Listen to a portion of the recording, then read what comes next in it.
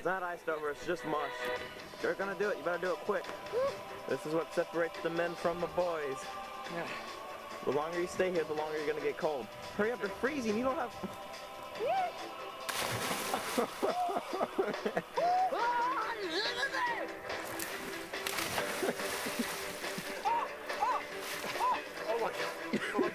Alex, pick up our stuff. We're leaving now.